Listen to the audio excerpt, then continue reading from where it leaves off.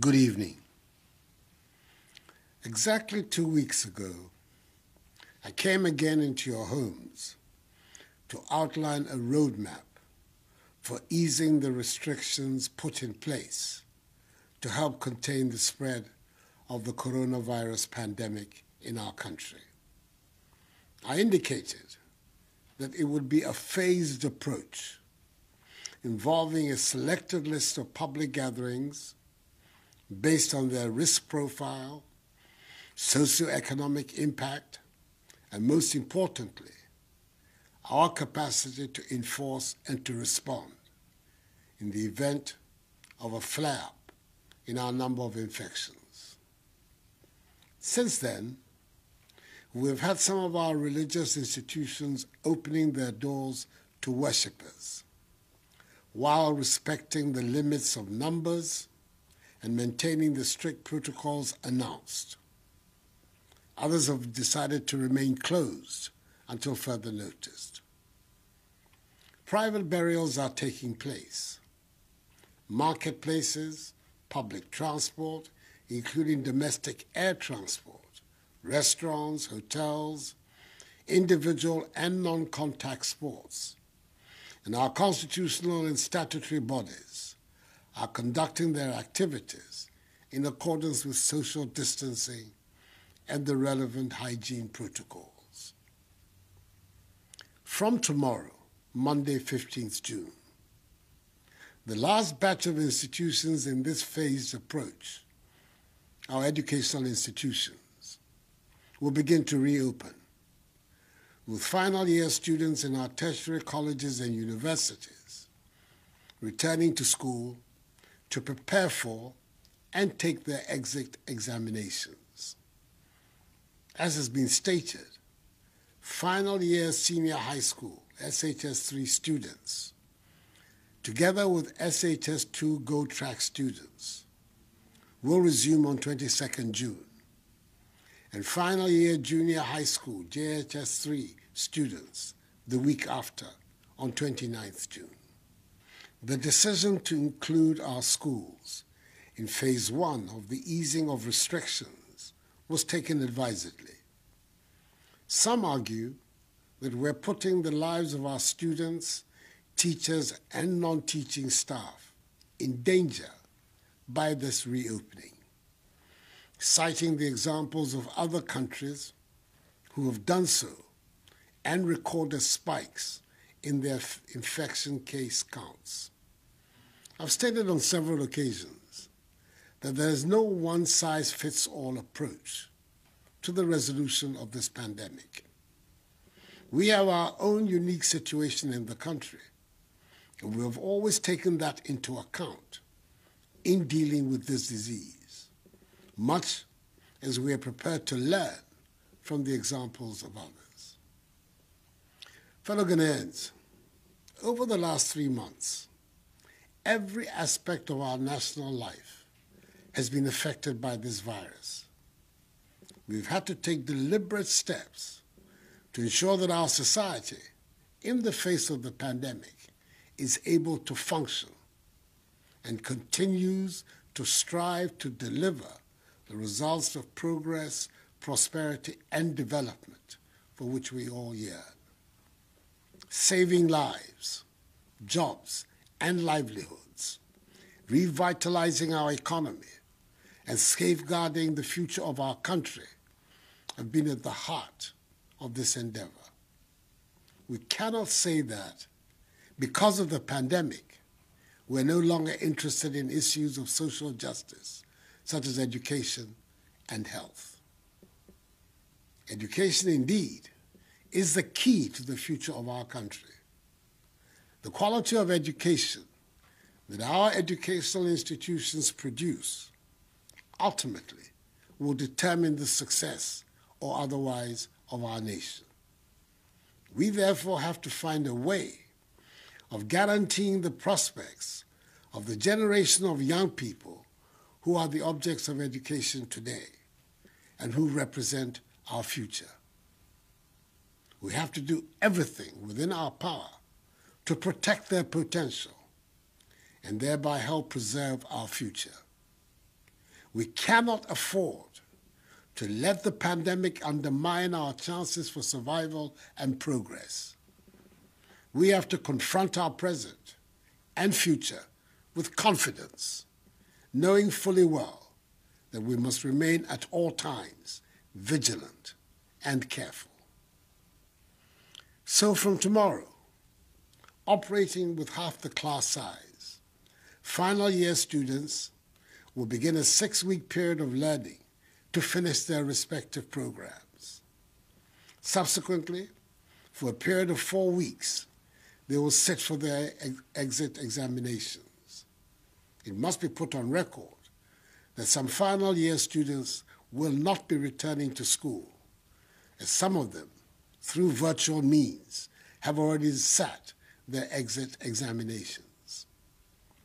Prior to their return to school, government, through the Ministry of Education and the Ghana Education Service, has ensured that all tertiary institutions, public and private, have been disinfected. Universities, with their own hospitals and clinics, have been equipped with the necessary personal protective equipment and have isolation centers to deal with any positive cases. All other institutions without their own clinics and hospitals have been mapped to health facilities. There will be no mass gatherings and no sporting activities. Religious activities under the new protocols will be permitted. Social distancing and the wearing of face masks must become the norm on campus. To aid in this effort, a total of 600,000 face masks has been distributed to the tertiary institutions. This is to enable every student, teaching and non-teaching staff, to have three reusable face masks. In addition to this, 1,700 Veronica buckets, 200,000 liters of hand sanitizers, 3,400 liters of liquid soap, and 900 thermometer guns have been distributed, with the transportation and delivery of these items being overseen by the Special Logistics Team of the Government Committee, chaired by the sagacious, experienced politician, the Senior Minister Honorable Yaw Osafo Maafo, that is supervising the reopening of the schools. I met with the vice chancellors of the universities, both public and private, last Tuesday, who pledged that they would cooperate to ensure that this exercise is effectively undertaken. And I thank them very much for their cooperation. Our intention is to secure the lives of the nearly 200,000 students, lecturers, and non teaching staff who will be returning to campus from tomorrow. And I appeal to them also to do their bit to help us succeed. I urge them to adhere to enhanced personal hygiene and social distancing protocols, wash their hands with soap under running water, refrain from shaking hands, and wear their masks to, in, and from the lecture halls and on the campus generally. Fellow Ghanaians, I have to address a matter which has to deal with our case count, especially in recent weeks, and which has given cause for anxiety. The increase in numbers indicates that the virus has spread and continues to spread.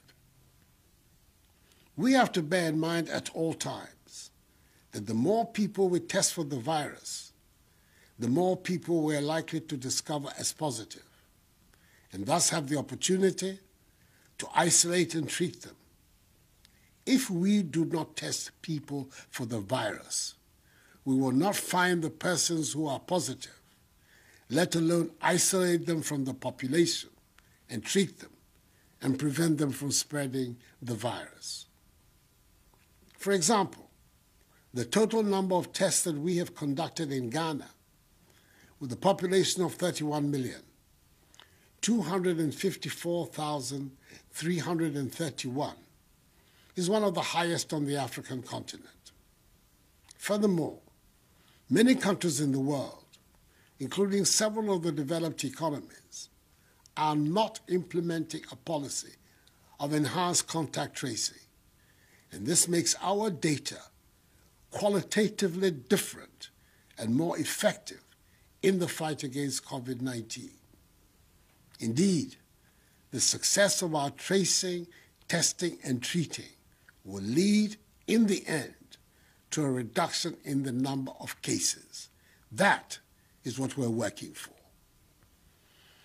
Understandably, much focus has been placed on the rise in the total number of confirmed cases. As at midnight of 13th June, the total number of positives cumulatively stands at 11,964 out of the 254,331 tests conducted. We have a total of 4,258 patients who are fully recovered, have been discharged, and are now free of the virus. So our scrutiny, in effect, must be on the number of active cases, i.e., people who remain on our books as still positive. Hence, as things stand now, the total number of people with the virus, that is, active cases from our tests, is 7,652. Our positivity rate, i.e., the ratio of positive cases to total tests conducted, stands at 4.7%. In our hospitals and isolation centers, we currently have 13 persons severely ill, six persons critically ill, with three persons on ventilators. Mercifully for us, by the grace of God, the number of COVID 19 related deaths, sad though each death is, continues to remain very low, one of the lowest in Africa and the world with 54 deaths currently reported by the Ghana Health Service thus far in Ghana. The ratio of deaths to positive cases stands at 0.4%, compared to the global average of 5.5% and the African average of 2.6%. The number of severe and critically ill also continues to be low.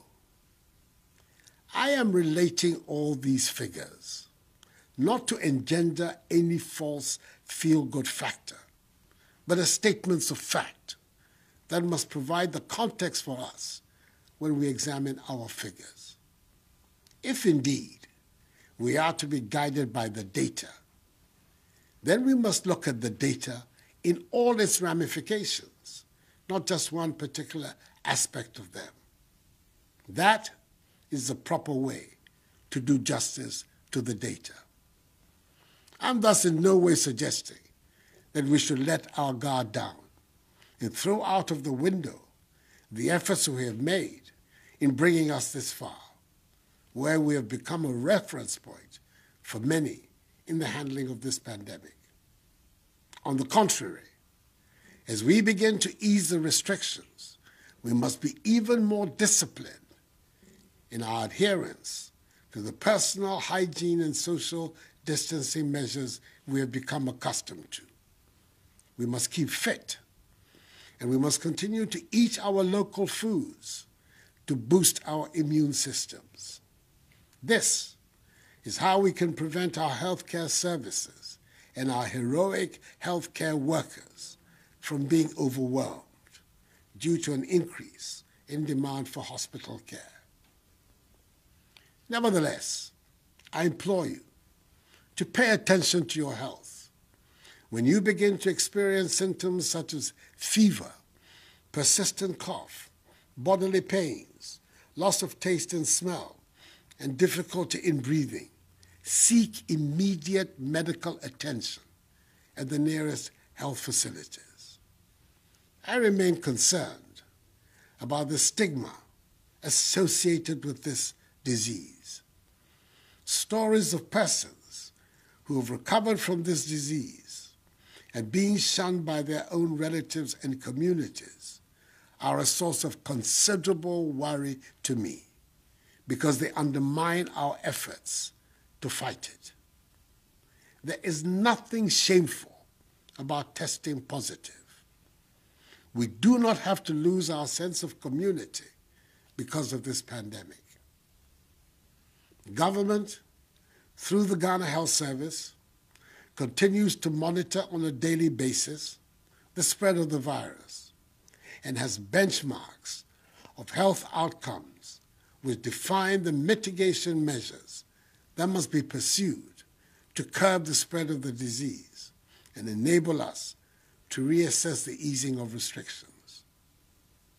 It is important for me to remind residents of the Greater Accra and Ashanti regions, where the great majority of cases have been recorded, and in the western and central regions, where we're seeing an increase in infection cases, to continue to adhere strictly to the social distancing and enhanced hygiene protocols announced. With the doctors and scientists telling us that the virus is transmitted from human contact through talking, singing, coughing, and sneezing, which results in sending droplets of the virus from one person to another. Residents of these four regions, and indeed all Ghanaians, must remember that the wearing of masks is now mandatory. Leaving our homes without a face mask or face covering on is an offense. The police have been instructed to enforce this directive, which is the subject of an executive instrument. Let me repeat our survival is in our own hands. If we are lax and inattentive, we will continue to have serious challenges with the virus. If we are mindful and self disciplined, we have it in us to defeat this pandemic and help return our lives to normalcy. I appeal to each and every one of you for your help in this regard. That is the surest way to realizing our collective vision of building a new Ghanaian civilization where the rule of law is not a slogan, but a directive principle of state development, where we deliver social and economic transformation that has a meaningful impact on the lives of all of our people, where a strong and vibrant economy creates jobs for the masses of our young people, and in the process, creates a society of opportunities and aspirations for all, where we are no longer pawns nor victims of the world order, and where the vision of our founding fathers of a free, progressive, and prosperous Ghana is attained. Let us together rise to the occasion and fulfill our common destiny we can do it. anuanom ɛfiri akyinɛ kɔ yɛma sukuufoɔ a wɔne ba bɛwie no bɛsan akɔ sukuu akɔkyerɛ wɔn sɔhwɛ a ɛtoatoɔ. Universityfoɔ bɛkɔkyena. Shs 3 ne shs 2 go trackfoɔ nso bɛkɔ ɔkyena no awɔtwe js S3foɔ nso bɛkɔ na awɔtwe a ɛdi so. Awofoɔ titiri mema mu nyinaa te aseɛ sɛ nhyehyɛeɛ a biara a ɛwɔ sɛ yɛyɛ de bɔ yɛ man ho ban aban ayɛ. Mesrɛ mo yɛne yɛ ma ɛnkɔ so ndi nhyehyɛeɛ a ɛde yɛ bɛbɔ yɛn ho ban no ɛso. Na onyankopɔn adaroma yɛntumi ɛyi saa yareɛ mfiri yɛn so. Anyameme kejawo obi fɛ na abagbe school na baya school na amagma ame nagbe woloe university bi baya wɔ na shs 3 ka shs 2 go track b baya wɔsɛ ochi. Jhs 3 b baya school ochi enyomne mi small ni nye fɛ nye no yake wɔtɔ gbedzia ni fɛ odzogba ni wɔkɛ wɔ ba ni ibaha wɔ bi yɛ fɛ aya school ni sani ko bɛhi mi kpanya fa wɔkɛ wɔ bi yɛ fɛ abɔmɔden ni ni bi yɛ fɛ ni nkɛ. Ne yano ni mɔdromo wɔkɛ nekɛ hilane agye wɔntɛn In conclusion, fellow Ghanaians, permit me to pay brief tribute to the memory of an old and valiant colleague in the struggle of the new patriotic party and in the work of the Akufo-Addo government, the mayor of Sekondi Takoradi Metropolis, the chief executive of the Sekondi Takoradi Metropolitan Assembly, Honorable K.K. Sam, Eja Sam to me and many, whose efforts in enforcing social distancing protocols of the Sekondi and Takoradi markets were recently highly commended by me, and who sadly passed away on Friday as a result of a COVID 19 related death. May his soul rest in perfect peace in the bosom of the Almighty until the last day of the resurrection when we shall all meet again. Let us also wish our hard-working Minister for Health, Honorable Kwaku Agyeman Manu, MP for Dormaa Central, a speedy recovery from the virus which he contracted in the line of duty and is in a stable condition. May God bless us all in our homeland, Ghana, and make her great and strong. I thank you for your attention.